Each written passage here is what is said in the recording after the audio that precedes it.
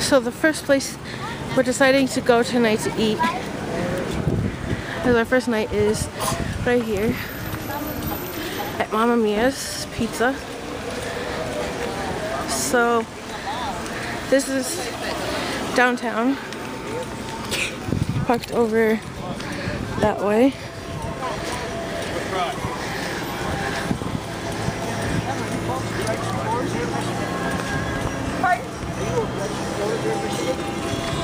Indiana. I appreciate that.